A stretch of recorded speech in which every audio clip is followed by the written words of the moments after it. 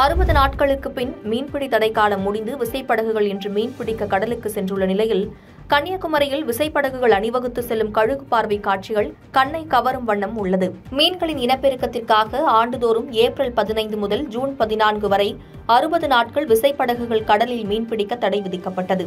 இந்த தடைக்காலம் நேற்று நள்ளிரவு முடிவற்ற நிலையில் கன்னியாகுமரி சின்னமுட்டம் மீன்பிடி துறைமுகத்தில் உள்ள முன்னூற்று ஐம்பதுக்கும் மேற்பட்ட விசைப்படகுகள் இன்று அதிகாலையிலேயே கடலுக்கு மீன்பிடிக்க சென்றன.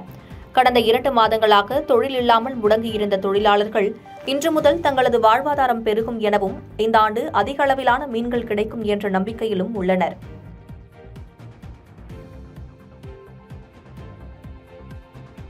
பாதகம் செய்பவரை கண்டால் நாம் பயங்கொள்ளலாகாது பாப்பா.